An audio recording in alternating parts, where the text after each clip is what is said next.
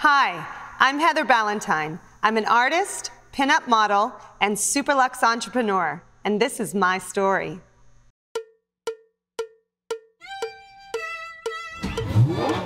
I'm Heather Ballentine.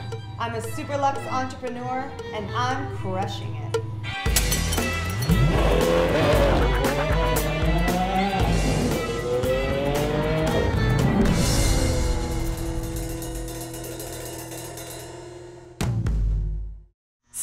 Started in Alma, Arkansas.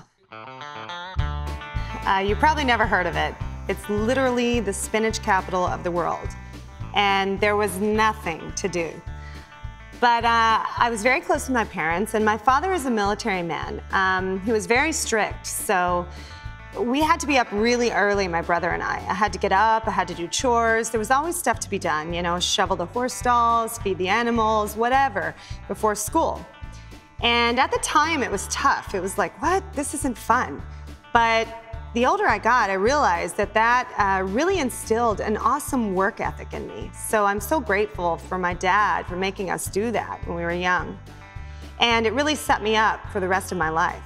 So in high school, it was tough. You know, I was still doing the farm chores, and sometimes I wouldn't have time to shower before going, and people made fun of me. You know, I was the farm girl. I wasn't really this glam girl that I became later. And um, you know, I, I, got other interests as I as I started to grow up. I, I um, started to notice cars, and I got into fashion and makeup and modeling. And I ended up getting some really cool opportunities. Um, Catalina Swimwear, for, for instance, they wanted me to do runways. So I got to go to Dallas, to the World Trade Center, and do some runway modeling. I also got um, to do some print campaigns. So it really started to open up my eyes that there was a whole nother world out there that I didn't even know about. I mean, I grew up in such a small town, and it, it gave me even a bigger hunger and drive to discover what else was out there and what I could accomplish. So I was really excited about what was to come, and I just wanted to move to LA. I was like, get me out of here. But my parents were very adamant that I go to university. And I wasn't really sure what to study. Uh, I was I was kind of a late bloomer. You know, I didn't really arrive on the planet until later. So I thought, well, what am I going to study? They're forcing me to go to university. You know, I, don't know what to do. Um, but I loved music. I loved theater and performing, acting. So I thought, all right, I'll major in musical theater. Uh, looking back, was it the most uh, logical degree? No. What do you do with a degree in musical theater? But it was amazing. I had great experiences, I met great people, I really grew up, and it taught me a lot. So after graduating from university, my parents were really proud. It was exciting. I was the first Ballentine to ever have a university education. But I wanted something more. You know, I didn't want to just move back home. And I remember telling my dad, think I'm to move to LA. And he's like, What? Why would you move to LA? You don't know anyone. How are you to support yourself? I mean, he was really worried, right? And I said, I'm to get a job. So I packed up a U-Haul. I had all my stuff in the back. I had my cat, and we took off. So when I got to LA, I slept in my U-Haul for a couple days till I could find an apartment. And this was early on. There wasn't like jobs all over the internet. I was literally looking in the newspaper. And I saw an ad that said hiring cocktail waitress for the Hollywood Palladium. And I thought, oh, that'll be a nice job. That'll be very glamorous. I'll get to meet a lot of people, I'll get to network never occurred to me that there were hundreds of other people seeing that ad at the same time. Came the morning of the interview and I, I showed up. I, I chose a red cocktail dress. And I showed up and there was literally like 500 people lined up. I, I couldn't believe it. I was overwhelmed. I was like, oh my God. And they were all wearing white shirts and black pants. And then there was me in a red cocktail dress and five inch black heels. And I almost turned around and went back. I thought, oh man, like, one of these things is not like the other. But thank God I stayed because this guy in a three piece black suit walked out and he had us all line up and he scanned the line, literally like 500 people. And he pointed to me and he said, You, come with me. Long story short, I started that night. And it wasn't even three weeks, and the offspring was in there, and they had a buddy with them. and he said, You know, what else do you want to do? I said, well, actually, I'm a singer-songwriter. And he said, do you happen to have a demo? And I was like, yeah. So I gave it to him, thinking nothing of it, kept on with my work. And about a week later, he called me and he said, you know what? You should be fronting a rock band. I had never done rock music. I grew up in Arkansas. We did country and bluegrass and blues. But I said, sure, why not? And that's when the hustle started.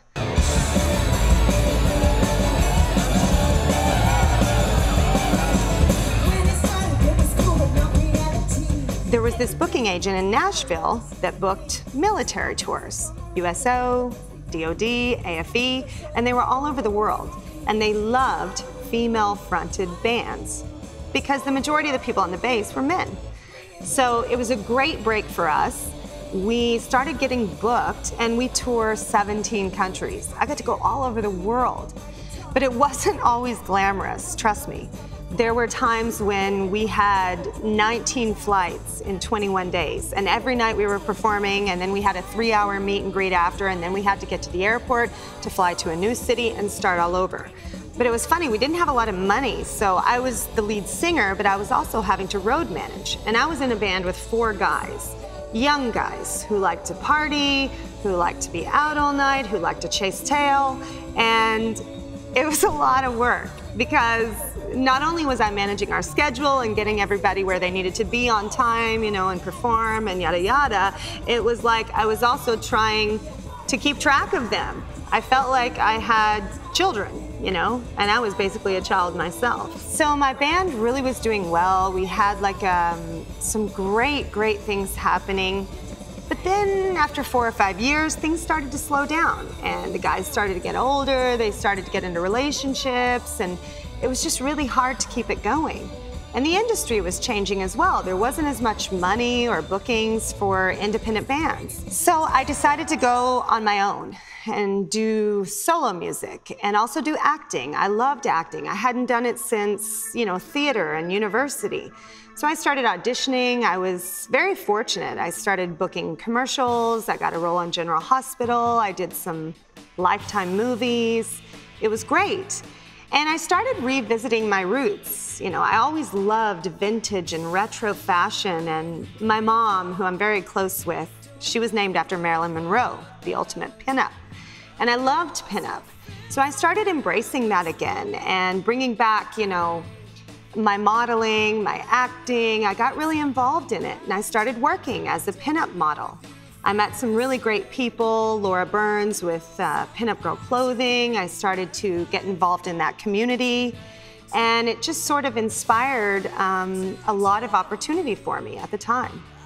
So it was funny, I was really involved in my solo music career, my acting, my pinup modeling, and I was not looking for anything else.